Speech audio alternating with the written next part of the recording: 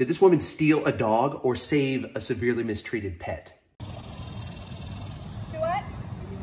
Yeah. Come on. Look at her. She looks like she had never eaten. She's mad. It's probably has heartworm. She can't breathe. This happened in Texas where it's against the law. If you've seen any of my videos, you know what I would do. And if you check out Samantha's videos, she helps so many dogs. So I guess the question is, what would you do? Emaciated she is.